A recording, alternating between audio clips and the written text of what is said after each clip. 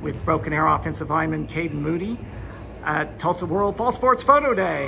And how much are you looking forward to the season starting? Oh man, I've been waiting. Been a hard winter. Been grinding. I gained 100 pounds over the over the break, so I'm ready to go. Got a new quarterback this year and uh, a lot of new starters on offense. Uh, do you feel like a, a, new energy this season? Yes, I, I, love blocking for Jerm. He's he's my guy, one of my best friends, and he's really he's really a nice guy for real.